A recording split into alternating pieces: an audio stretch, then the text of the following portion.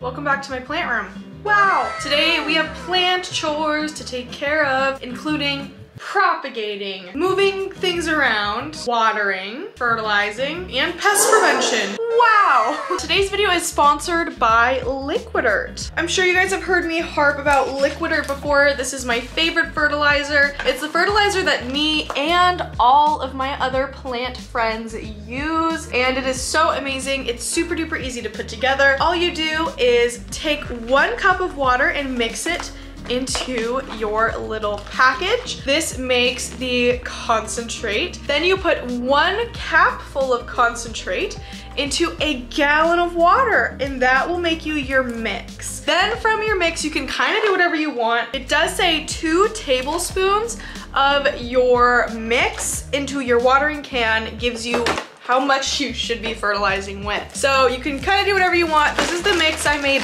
last time. It's still good to go. Make sure you're using filtered water as well. If you want to try out Liquidirt, it is so great, super duper easy to put together, unlike a lot of other fertilizers. I want to make sure I'm using a fertilizer that doesn't have toxins in it Liquidirt doesn't have toxins, just 18 all natural organic ingredients. So if you wanna try this out, you can use code plantme underscore 25 to get 25% off of Liquidirt. Buying Liquidert helps my channel so much as long as you're using my discount code. I'm just here to tell you that this is like the best fertilizer I've ever used and it's amazing. Plantme underscore 25. This is what we're gonna be using today to fertilize our plants. Let me show you kind of what we have going on. Painted my nails in here the other day, so I need to pick up that stuff. But I wanna move my big paludarium today. So that big monstera I had, not this one, but the other one, died of thrips. Well, it died of, it died of Ashley. I cut up the the plant. But it had thrips and that's why I cut it up. So we now have my big spot available, which I'm gonna move my paludarium there. And so I can have my desk back over in that little spot. And then I'm gonna maybe put some plants in my paludarium. Also, we're gonna check for thrips. We're gonna make sure that the thrips have in fact vacated the premises. And we're gonna water these guys up there. So we're gonna do a lot of little things today. We also need to really water this terrarium. I noticed today that some of the begonias in there are a little droopy. Yep, let's do it. Let's water everything. I love cleaning my room. I don't know if you guys are like that too, but there's something about cleaning a plant room and just getting everything back in order that is so satisfying. So I guess I'll tell you guys how I have been doing lately. I have been doing very good. I have been working my little butt off by training. I told you guys I wasn't gonna be posting a lot this month, and that's because I really took this month. Honestly, and maybe it's oversaid and overblown, but like, it really is true. I've had a terrible time lately. this month, I was just gonna like throw myself into the gym. Since doing that, I have done so much better. I have also been sleeping more because I've been tired. Raven, you looking at me. So yeah, I've been working out trying to get buff again. Just kidding, I don't really have any muscles yet, but, but it is fun to work out and my trainer is super nice and understanding. Got some new clothes because I was like, you know what? Deserve a little treat myself. So I bought some new clothes, which I really like. Yesterday, there was a freaking hobo spider in my room, which at first was so scary because it was like, is this thing gonna kill me? And you guys, I kid you not when I tell you it was this big. It was actually this big and it was walking on the carpet and I literally screamed so loud and I just said bye to Chris who was downstairs. I was like, okay, I'm gonna go upstairs and work now. And I come upstairs almost step on this freaking thing and I literally see it and scream and I'm like, Chris, Chris, because it's huge I didn't want it to get away and I didn't have anything to kill it with. I needed to keep my eyes on it. They move so fast, especially the big ones. Anyways, it got to the point where it was about to climb behind my greenhouse in like that little crack behind it and Christopher was able to kill the spider, which was absolutely terrifying. Oh my gosh. So I don't have a plant back there, so Raven likes to just go sit back there lately. She smells my plants, but that's about all she'll do. Yeah, that was weird, huh? So here's another prop container I think we might end up filling up today. How do people do it where they like spin the top off super fast? You guys always ask me how I keep Raven out of my plants. I just like don't. She just doesn't really bother them. They didn't pay me to say this, but I'm also gonna be using more of this You Bloom stuff. I really, really like this, and I love that it can come to you in a little package monthly. But you guys, I'm like so motivated today. Anyone else talk to their cat? like that or is it literally just me? So usually I only water my terrariums by that went on for so much longer than I wanted it to. Mister, uh, make sure, by the way, if you missed your plants, you're always using filtered, purified, or distilled water, not tap water, because uh, that will hurt them. But I can see that the actual moss is also starting to dry up. So we're gonna actually water the plants in the terrarium today, and I'm gonna show you how I do that. So we're gonna be so careful. We're gonna be so careful. Also, my fried egg is looking nice, I think. I think capable, especially since I've gotten stronger lately. I really think I can do this on my own.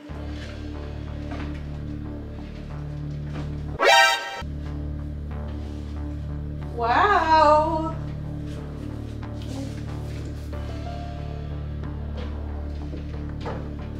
You guys, I'm a freaking tank now. Bro, don't mess with me, cause I'll mess you up.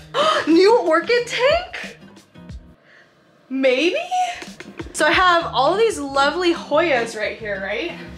Like, they're killing it. Putting this here so that I can have another spot for more plants because I've pretty much completely filled up my greenhouse and my other two terrariums. However, I wanna get more plants because I have a problem.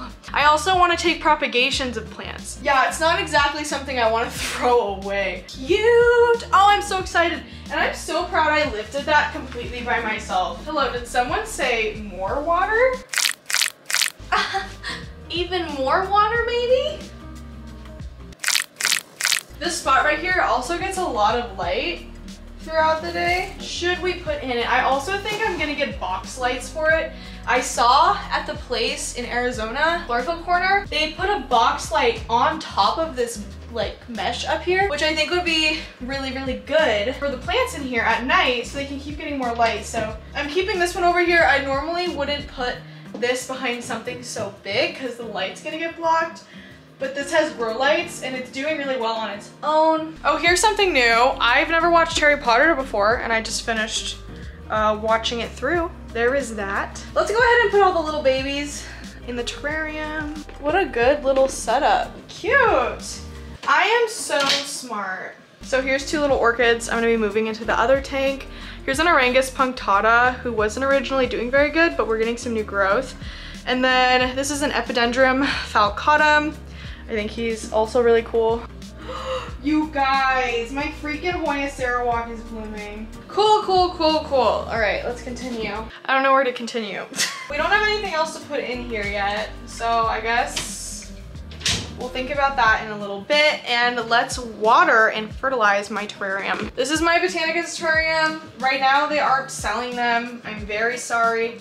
I know a lot of you are interested in buying one, but cannot help you at the moment. So we're gonna take a little bit of our little Liquidirt mix carefully. And then what I'm gonna do is individually, I'm gonna take these guys out here and water them. I'm just gonna water them over terrarium. Let it drain out into the moss. And um, with terrarium tropicals, you don't really have to water them as much because they're getting a lot of the water from the surrounding moss. This plant right here is actually doing really good. This is my begonia, not, um, what is it called? What the frick? I can't remember this one's name. It's one of my favorite begonias I own though. Sorry, he's he do be dripping. Next, we got our little Piper. She looks so beautiful. Got a little baby on the way. Here's our recovering Darth. I'm so proud of this guy because he was literally like dead and now he's got two leaves, which is so exciting. Here we have our Alocasia Silver Dragon, who is getting pretty big. I'll quickly show you. Got a lot going on there. Oh, oh, that's so cute. There's a roly-poly. Here's my little Bromarks Fantasy that I cut back a month ago, and here's its new shoot coming out. So now I'm gonna show you my blooming uh, species Sarawak. That is so exciting. And look at how like freaking, oh, the color of these two together is so amazing. Like the greens and the blues. That's what it really looks like, you guys. It's an iridescent color. Amazing. So here's our two honkin' Jalau. Why are we tracking? Here are our two honkin' Jalau type 2 stems. I'm literally just gonna pot these guys right up in moss. Wow, that was so hard to cut through. Then we have this mighty Jalau, which is like losing its lines for some reason. Maybe it does that when it gets mature. All right, come back to life, my lady. Here, look at this. She's like, water me. Put a little bit more moss in it to make it more sturdy, but here's our little uh, Jalau propagation. And then we'll throw some liquid in there for good measure as well. One of these guys is actually really, really tall, so I'm gonna give him another little chop right in there. Cool. Here's our little uh, Jalau cup. All right, and he is ready to go into my paludarium. How cute. So I put Liquidirt at the bottom of this mason jar and I'm actually going to be putting this dude into there. Now here is our dude. I'm gonna go ahead and top him off with some normal water. And he's gonna soak up, soak up all that. Then I'm actually gonna put my Species Affinity Burtonii Hoya in here as well, mostly because it kind of just needs like a pep talk. All right, and I'll say, think we're good for the paludarium. What we're gonna do is we're gonna water these dudes because they are way thirsty. So here's our cute little plants. Here's my multiflora. She's actually gonna bloom soon. Uh, right there. We get our peace lily and our Hoya Mauna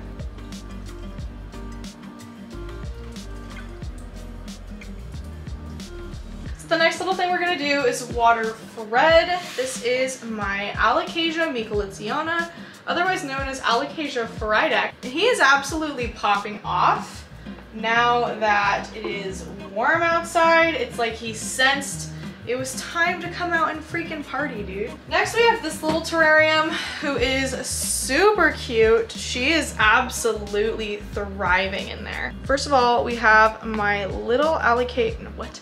My little uh, Ceropegia Silver Glory, my silver string of hearts. Then we have this unknown begonia I was sent.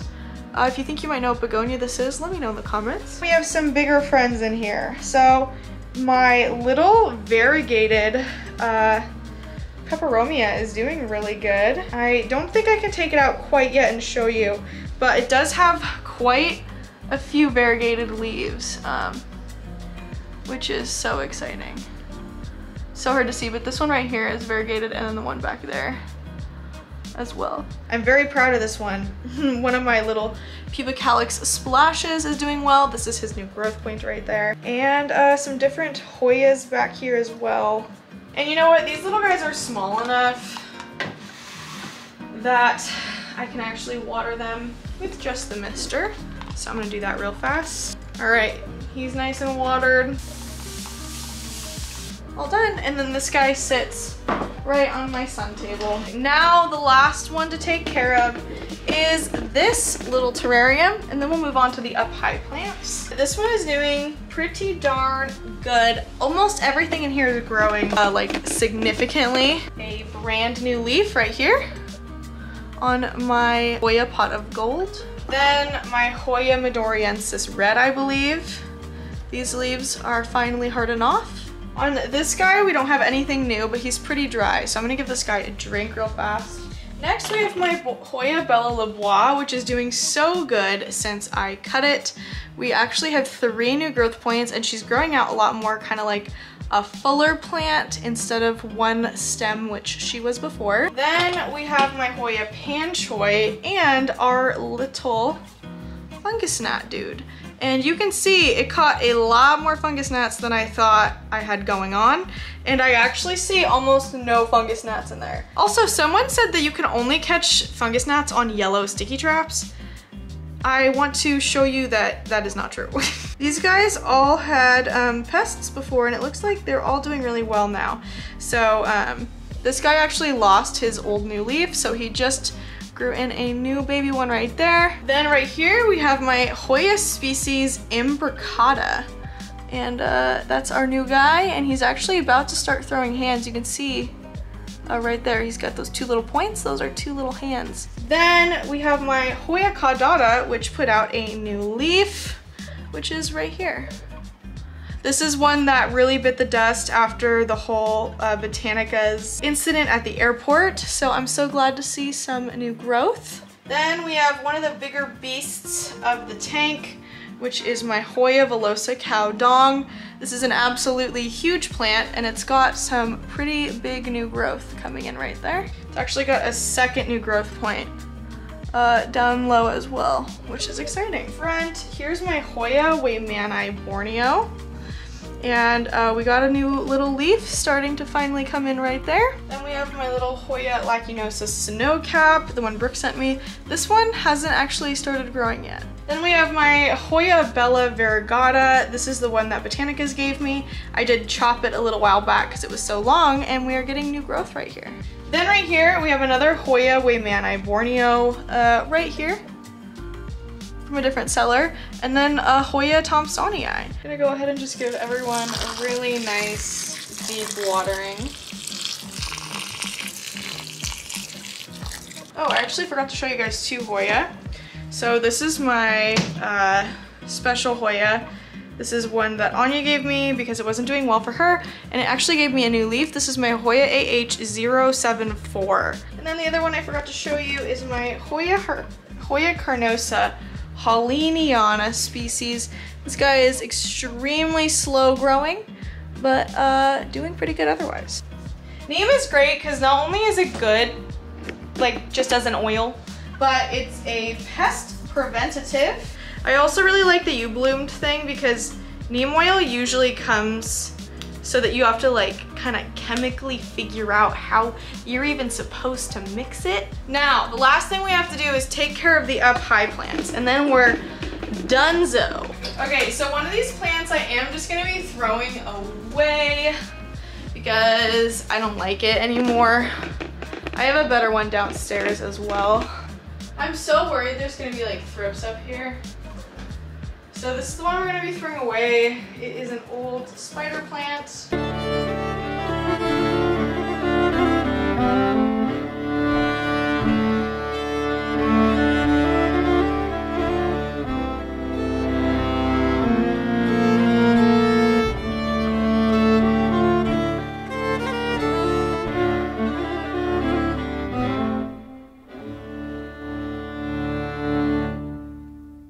Okay, so that didn't take long at all because every single plant up there was infested with thrips. So I did throw them all away. None of them were rare, so I'm not worried. We have the queen in here, okay? This, the, the sport lady. And I can't have thrips happening there. We're gonna check her again for thrips. And if we see any, we are going to remove them with this, which is a Captain Jack's copycat. Having spinosad in it, it has potassium salts and fatty acids.